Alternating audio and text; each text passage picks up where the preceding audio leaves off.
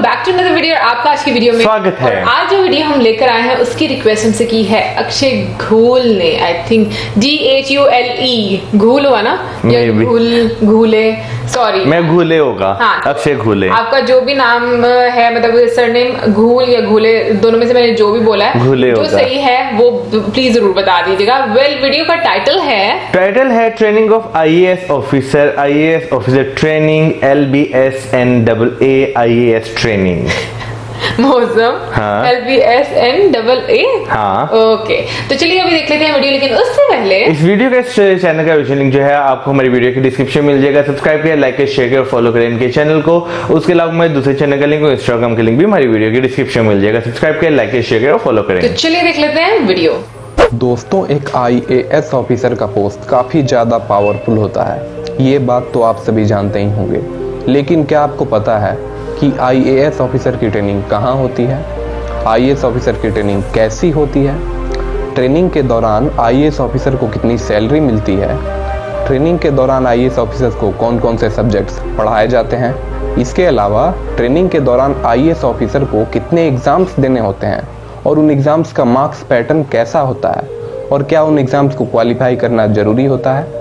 इसके अलावा जब आईएएस ऑफिसर अपनी ट्रेनिंग पूरी कर लेते हैं तो उन्हें जो पहली पोस्ट मिलती है, वह कौन सी मिलती है? तो दोस्तों, अगर आपको इन सभी प्रश्नों के उत्तर चाहिए तो इस पूरे वीडियो में आपको इन सभी प्रश्नों के उत्तर मिल जाएँगे।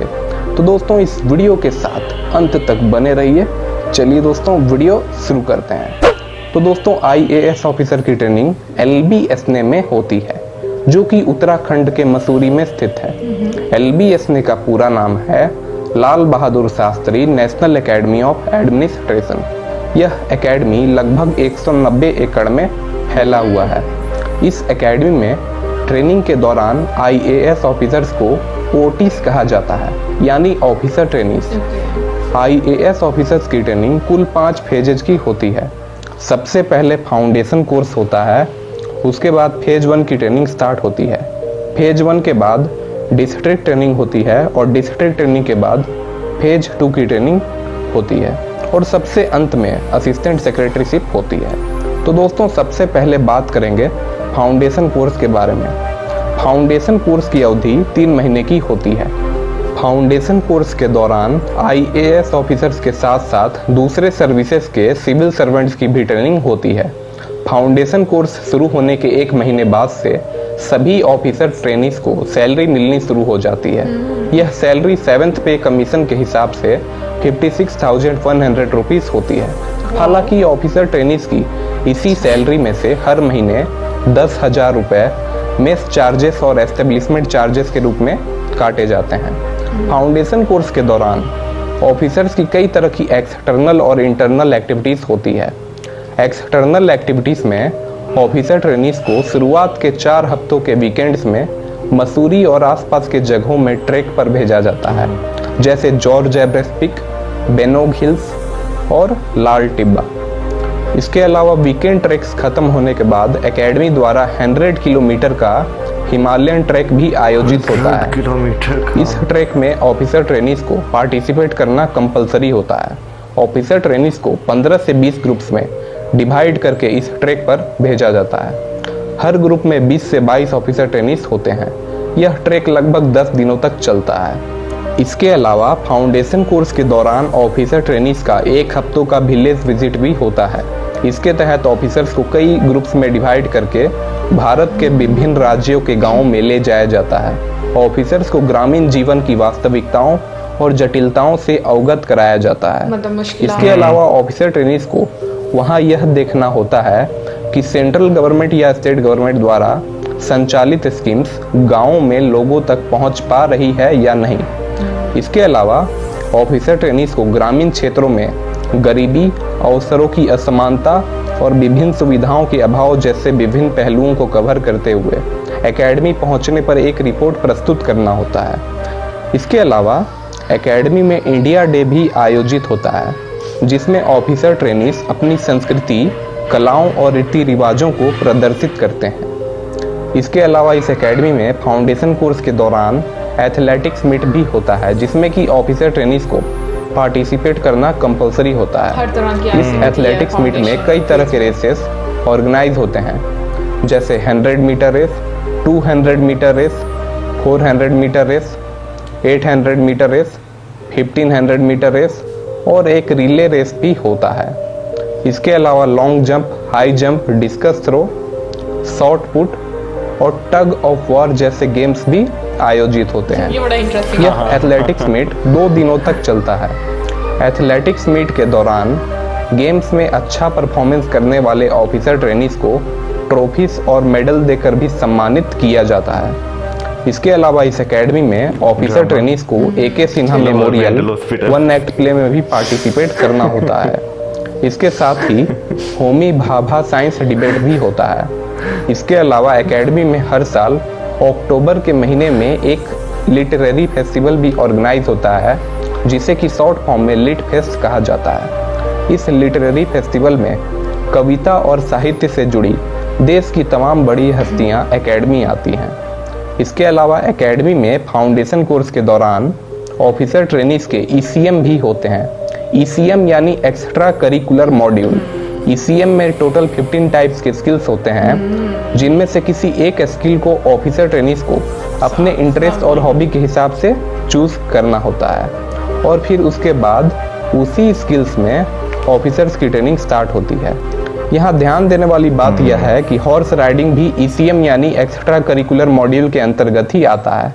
तो इस तरह से यह ऑप्शनल होता है। तो दोस्तों नीचे आप कमेंट बॉक्स में यह कमेंट करके बताओ कि अगर आप आने वाले समय में एल बी एस में सिविल सर्वेंट के रूप में ट्रेनिंग करोगे तो आप ईसीएम के रूप में इनमें से एक कौन सा स्किल चूज़ करोगे? नीचे कमेंट में बताएँ।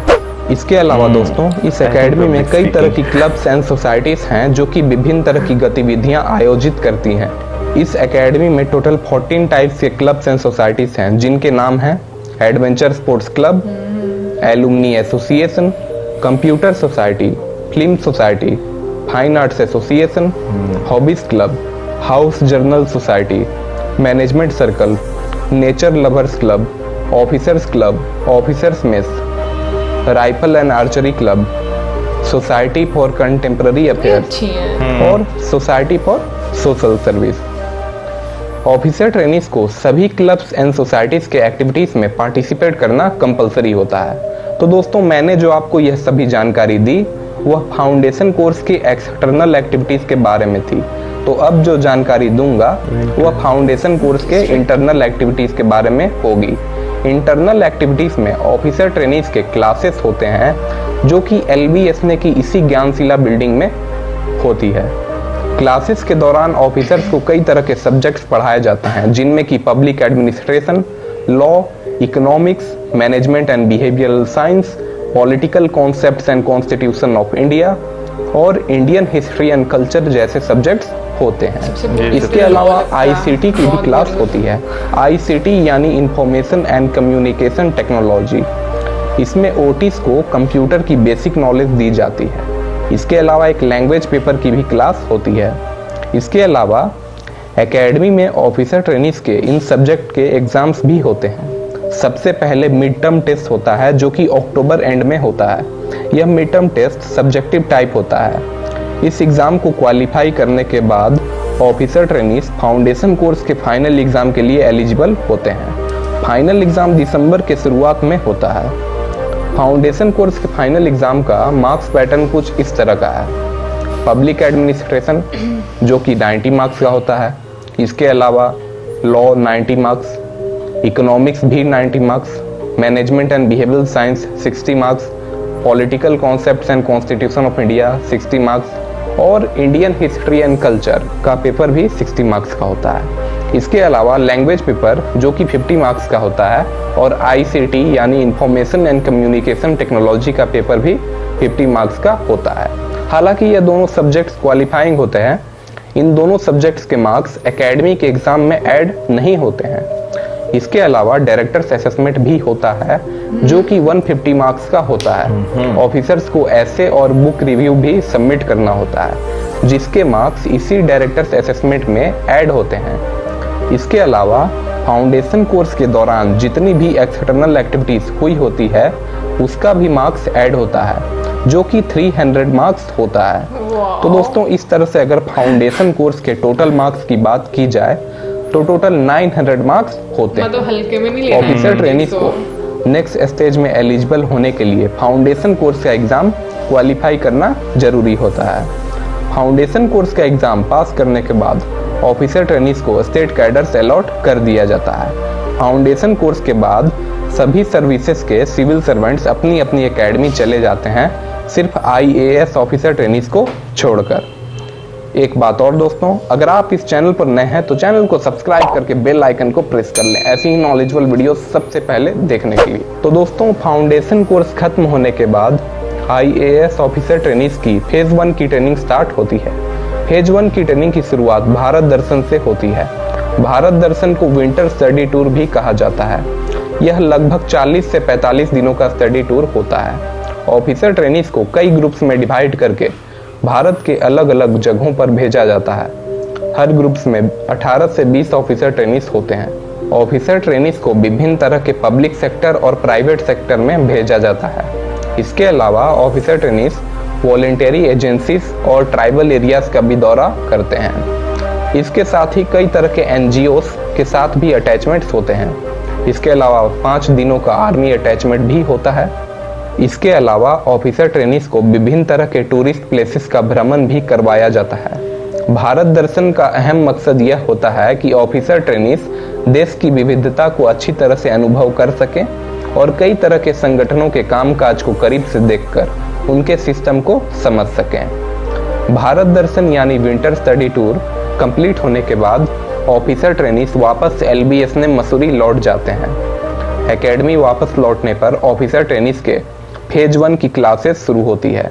फ़ेज़ वन की क्लासेस के दौरान ऑफिसर ट्रेनिंग्स को फाउंडेशन कोर्स जितने ही सब्जेक्ट्स पढ़ाए जाते हैं। यहाँ सिर्फ़ अंतर यह होता है कि फ़ेज़ वन में यह दो सब्जेक्ट्स नहीं पढ़ाए जाते हैं, जो कि इंडियन हिस्ट्री एंड कल्चर और लैंग्वेज पेपर के सब्जेक्ट्स होते हैं। इसके अलावा एकेडमी में फ़ेज़ वन की ट्रेनिंग के दौरान भी एक्सटर्नल एक्टिविटीज़ होती है, जैसे वीकेंड ट्रैक्स होते हैं।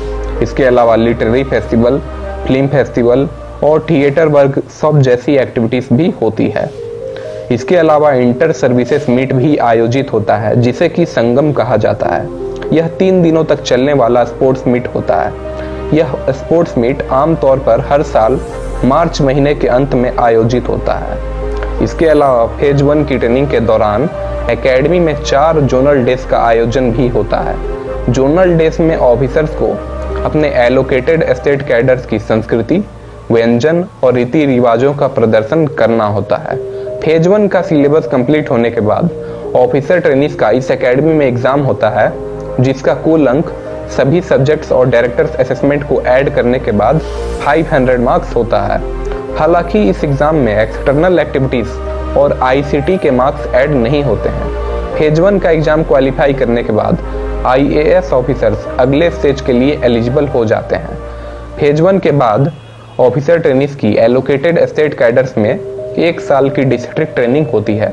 डिस्ट्रिक्ट में ट्रेनिंग के दौरान सबसे पहले ऑफिसर्स की उस स्टेट की एडमिनिस्ट्रेटिव ट्रेनिंग इंस्टीट्यूट में लगभग दो महीनों की ट्रेनिंग होती है। ट्रेनिंग पूरी होने के बाद ऑफिसर ट्रेनिंग्स के डिस्ट्रिक्ट लेवल ऑफिसर्स के साथ अटैचमेंट्स होते हैं। जैसे कि कलेक्ट्रेट जिला परिषद म्यूनिसिपल कॉरपोरेशन और तहसीलदार ऑफिसर्स इसके अलावा चीफ मिनिस्टर ऑफ़िस और स्टेट सेक्रेटेरिएट के साथ भी अटैचमेंट्स होते हैं। सभी तरह के अटैचमेंट्स खत्म होने के बाद ऑफिसर ट्रेनिंग्स को एसडीएम या असिस्टेंट कलेक्टर के रूप में इंडिपेंडेंट चार्ज दिया जाता है। इंडिपेंडेंट चार्ज दिए जाने के पीछे अहम मकसद यह होता है कि ऑफिसर ट्रेनिस को काम करने की स्वतंत्रता मिले और उन्हें कार्यालयों में काम करने का अनुभव और समझ अच्छी तरह से प्राप्त हो। डिस्ट्रिक्ट ट्रेनिंग पूरी होने के बाद ऑफिसर ट्रेनिंग्स वापस एलबीएस में मसूरी लौटते हैं। डिस्ट्रिक्ट ट्रेनिंग के बाद ऑफिसर ट्रेनिंग्स की फ़ेज़ टू की ट्रेनिंग स्टार्ट होती है। फ़ेज़ टू की ट्रेनिंग लगभग छः हफ़्ते की होती है। इस ट्रेनिंग में खास बात यह होती है कि इस ट्रेनिंग के दौरान ऑफिसर ट्रेनिंग्स को किसी भी तरह के सब्जेक्ट्स नहीं पढ़ाए जाते हैं और ना ही किसी तरह की एग्ज़ाम्स होती है। इस ट्रेनिंग में ऑफिसर ट्रेनिंग्स को सिर्फ़ अपने एक साल के डिस्ट्रिक्ट ट्रेनिंग के एक्सपीरियंस को शेयर करना होता है। इससे होता यह है कि सभी ऑफिसर ट्रेनिंग्स अपने बैचमेट्स के एक्सपीरियंस को बारी बारी से सुनते हैं और जिन्होंने डिस्ट्रिक्ट ट्रेनिंग के दौरान अच्छा परफॉर्म किया होता है उनसे कुछ सीख पाते हैं। इसके अलावा फ़ेज़ टू की ट्रेनिंग के दौरान कई तरह के एडवेंचर स्पोर्ट्स भी होते हैं जैसे कि river rafting parasailing rock. Climbing और ट्रेक्स इसके अलावा ऑफिसर ट्रेनिंग्स का एक हफ़्ते का फॉरेन स्टडी टूर भी होता है। फ़ेज़ टू की ट्रेनिंग कंप्लीट होने के बाद सभी आईएएस ऑफिसर ट्रेनिंग्स को जवाहरलाल नेहरू यूनिवर्सिटी से पब्लिक मैनेजमेंट में मास्टर्स की डिग्री प्रदान की जाती है। फ़ेज़ टू के बाद ऑफिसर ट्रेनिंग्स की असिस्टेंट सेक्रेटरीशिप की ट्रेनिंग की शुरुआत होती है। इसमें ऑफिसर ट्रेनिंग्स को दिल्ली जाना होता है। दिल्ली में सेंट्रल गवर्नमेंट की 36 टाइप्स की मिनिस्ट्रीज होती है, जिनमें से अलग अलग मिनिस्ट्रीज में ऑफिसर ट्रेनिंग्स को बतौर असिस्टेंट सेक्रेटरी के रूप में नियुक्त किया जाता है। असिस्टेंट सेक्रेटरी के रूप में ऑफिसर ट्रेनिंग्स की पोस्टिंग तीन महीने की होती है। ट्रेनिंग कंप्लीट होने के बाद आईएएस ऑफिसर ट्रेनिंग्स को अपने एलोटेड स्टेट कैडर में पोस्टिंग मिल जाती है। तो दोस्तों, अगर इस तरह से आईएएस ऑफिसर के पूरे ट्रेनिंग पीरियड की बात की जाए तो आईएएस ऑफिसर की ट्रेनिंग दो साल, एक महीने की होती है। तो दोस्तों आईएएस ऑफिसर की ट्रेनिंग पूरी होने के बाद जो पहली पोस्ट मिलती है, वह एसडीएम की पोस्ट मिलती है। तो दोस्तों, आज का हमारा वीडियो यहीं पर समाप्त होता है। अगर वीडियो अच्छा लगा उस चैनल को सब्सक्राइब करके बेल आइकन को प्रेस कर लें। ऐसी नॉलेजेबल वीडियोस सबसे पहले देखने के लिए। अगर बात करें आज की वीडियो की तो नो डाउट जो एक गवर्नमेंट ऑफिसर होता है ना जो एक अच्छे रैंक पर जाके बैठता है उसकी ट्रेनिंग आसान नहीं होती। क्योंकि जो है जब वो ट्रेनिंग में आता है उससे पहले भी जो है वो इतनी ज़्यादा स्टडी करता है ना उस ट्रेनिंग तक पहुँचने के लिए। ये तो या वो जानता है या जो उस पर मेहनत कर रहा है वो जानता है कि वो किस तरह यहाँ पे पहुँचा है। वैसे आज मुझे पता चल रहा है कि लोग यूपीएससी के एग्ज़ाम्स क्यों देते हैं क्योंकि इसको क्लियर करने के लिए भी आपको यूपीएससी के एग्ज़ाम्स देने पड़ते हैं। और फिर उसके बाद मैं देखो नो डाउट मौसम की बात ठीक है कि पहले बहुत ज़्यादा आपको स्ट्रगल करनी पड़ती है कंपटीशन होता है आपको एटलीस्ट उस लाइन में उस नंबर में आना होता है जहाँ पर आप सिलेक्ट हो सको। लेकिन उसके बाद की जो जर्नी जैसे कि इन्होंने डिफरेंट फेजेस बताए इस वीडियो में आप देखो कि अगर आप स्टडी कर रहे हो उसके साथ साथ आपकी एक्स्ट्रा करिकुलर एक्टिविटीज़ इतनी ज़्यादा है कि आई थिंक वो एक अच्छा कॉम्बिनेशन बन जाता है और आप प्रैक्टिकली जब चीज़ें सीखते हो डिफरेंट स्टेट्स में जाते हो डिफरेंट विलेजेस में जाकर लोगों की प्रॉब्लम्स देखते हो या जो स्कीम उस टाइम की स्टेट ने उस, में मतलब वो लोग गरीबों के लिए या किसी भी हम कहेंगे वेलफेयर के लिए चल रही होती है उस टाइम पर और उसको जाकर इंस्पेक्ट करना तो मेरा ख्याल में ये चीज़ें काफ़ी इंटरेस्टिंग होती है। इंस्पेक्ट मतलब नहीं होगा प्रॉपरली मेरा ख्याल में लेकिन ये कि ये चीज़ करना कि वाकई क्या प्रॉपरली वो चीज़ें वहाँ पर इम्प्लीमेंट हो रही है। बिल्कुल सही बात है। देखिए ना फ़र्स्ट ऑफ़ ऑल जहाँ से चीज़ें स्टार्ट होती हैं एक बहुत ज़्यादा कैंडिडेट्स जो एग्ज़ाम्स देने आते हैं फिर उसके बाद उनमें से कुछ यानी कि अगर फॉर एग्जांपल कि लाखों की तादाद में जैसे इंडिया की आबादी है लाखों की तादाद में लोग एग्ज़ाम देते होंगे इस पे भी और उसके बाद चंद हज़ार या चंद सौ लोग जो हैं वो सिलेक्ट होते हैं फिर उसके बाद उनकी ट्रेनिंग की जाती है। जब वो ट्रेनिंग में करते हैं तो वो तराशते हैं उन्हें हाँ। कि इनके अंदर से क्या चीज़ निकल सकती है इनकी स्किल्स हाँ बिल्कुल। फिर उसके बाद मुझे ये चीज़ जो है बहुत अच्छी लगी कि जैसे जो फेजेस जैसे जैसे गुजरते जाते हैं, फिर उन्हें जो है एक किस्म की इंटर्नशिप के लिए गवर्नमेंट ऑफ़िस में बिठाया जाता है ताकि वो जाके फेस करें, चीज़ों को देखें, वहाँ के लोगों से मिलें। फिर उसके बाद जो है जब सारे लोगों को जो ट्रेनिंग लेकर आए होते हैं, उन्हें आपस में बिठाया जाता है, एक दूसरे से एक्सपीरियंस अपने शेयर करें, किसने ज़्यादा अच्छा काम किया, किसने नॉर्मल तरीके से काम किया। तो ये भी जो है मेरा ख्याल है कि स्किल डेवलपमेंट करने के लिए और एक दूसरे को बूस्ट करने के लिए ना, कि मैं नेक्स्ट टाइम इसे ज़्यादा अच्छा कर सकता हूँ। तो ये काफ़ी अच्छी चीज़ है। सबसे अच्छी चीज़ मुझे ये लगी है क्योंकि ये वाकई में जो फाइनेंशियल एलिमेंट होता है ना वो बहुत इंपॉर्टेंट होता है। यानी कि जो पहला फ़ेज़ था फाउंडेशन फ़ेज़ आपको उसी में सैलरी मिलना शुरू हो जाती है। आप ऑलमोस्ट मतलब ये कि आपके ऊपर कोई बर्डन नहीं है इस तरह का कि जी हम लोगों को कहीं से पैसे मंगवाने हैं और फिर हम लोगों को खर्च करने हैं। तो ये चीज़ें मुझे बहुत अच्छी लगी क्योंकि एक देखो एक इतनी लंबी स्ट्रगल के बाद जब आप एंटर होते हो और आपको इतने ज़्यादा फल मतलब मैं कहूँगी ये तो सबर का फल जब आपको मिलता है इतना मीठा होता है तो साथ उसके काफ़ी ज़्यादा एक्टिविटीज़ जैसे कि एडवेंचर मैं तो बोलूँगी काफ़ी ज़्यादा एडवेंचरस भी है। लाइक आप बाहर जाते हो ट्रैकिंग के लिए जाते हो फिर राफ्टिंग के लिए जाते हैं पैरासेलिंग के लिए जाते हैं। तो काफ़ी सारी ऐसी एक्टिविटीज़ हैं जो कि आपको यू you नो know, आपको मेंटली मैं बोलूँगी आपको काफ़ी ज़्यादा स्ट्रॉन्ग करती हैं। क्योंकि अगर जैसे हम लोगों ने एक बीच में देखा था जो हिमालय ट्रैक था पर किलोमीटर के लिए वो लोग रहते हैं। तो मोदम वहाँ पर दस दिन के लिए रहना ऐसे लोगों के लिए जो कि शहरों में रहते हैं और वहाँ पर जाकर रहना जहाँ पर कुछ भी मतलब उस तरीके से नहीं है। तो मुझे ऐसा लगता है कि आपकी ना ब्रेन की ट्रेनिंग होती है बिल्कुल सही बात है अगर वैसे ही बात करें तो इस लेवल पे जो दिमाग पहुँचते हैं ना वो एक्स्ट्रा ऑर्डिनरी होते हैं। वो इतने शार्प दिमाग होते हैं जो कि हम जैसे आम लोग जो होते हैं ना उनके नहीं हो सकते। Well, और, और अगर हम हाँ, इसके मोटो की बात करें तो इसका मोटो है unity is excellence at work वैसे तो संस्कृत में भी लिखा हुआ है लेकिन ये कि हम लोग इंग्लिश वाला पढ़ रहे हैं। और इसके अलावा इसके अलावा जो है अगर इसकी बात करें तो ये आज से एक सौ बासठ साल यानी कि 162 इयर्स पहले जो है इसकी फॉर्मेशन हुई थी इंडियन सिविल सर्विसेज़ के नाम से।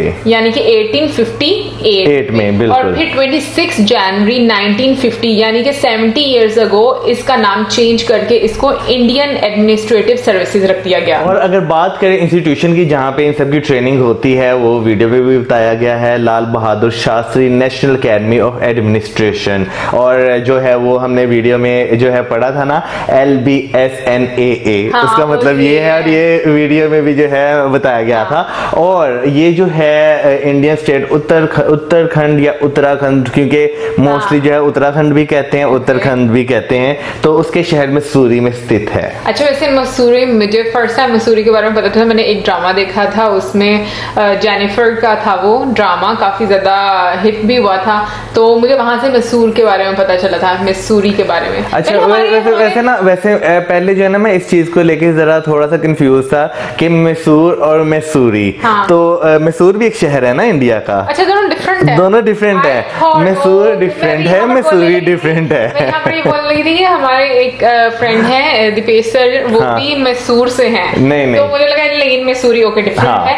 वेल well, अगर बात करें कि जब इतनी ज़्यादा ट्रेनिंग करने के बाद आपको कौन सी ड्यूटीज़ आप ज्वाइन करते हो तो उसमें आती है पॉलिसी फॉर्मुलेशन आती है पॉलिसी इंप्लीमेंटेशन आता है पब्लिक एडमिनिस्ट्रेशन आती है ब्यूरोक्रेटिक गवर्नेंस आती है secretarial assistance central and state government दोनों। बिल्कुल। और अगर बात करें इसके रिस्पॉन्सिबल मिनिस्टर की यानी कि जो इस पूरे जो है चीज़ को ओवरव्यू करते हैं तो वो डायरेक्ट इंडियन प्राइम मिनिस्टर करते हैं जो कि इस टाइम नरेंद्र मोदी जी हैं तो वो इस सबको ओवरव्यू करते हैं। और 4,926 मेंबर्स में से 3,511 ऑफिसर्स जो हैं वो डायरेक्टली रिक्रूट किए जाते हैं बाय द यूपीएससी यूपीएससी और फोर्टीन फिफ्टीन ऑफिसर्स जो हैं वो प्रमोटेड यानी कि प्रमोट किए जाते हैं स्टेट सिविल सर्विसेज़ की तरफ़ से। और सिलेक्शन जो है वो सिविल सर्विसेज़ एग्जामिनेशन और और एसोसिएशन जो है वो आई सेंट्रल एसोसिएशन है। हाँ तो ओवरऑल हम लोगों ने काफ़ी डिटेल में जो हम लोग जानते थे वो हम लोगों ने आपके साथ शेयर किया है। बट ये कि मुझे तो वैसे बहुत ज़्यादा ये एक